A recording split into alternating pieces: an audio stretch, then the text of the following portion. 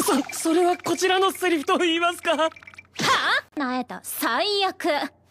ういう根拠で生み出したペアよありえないんだけど俺も被害者なんですけどはあどうせ桜坂さんあたりでしょ感じかもよお願い優しくしてそそそそそそそういった勝手な憶測は彼女に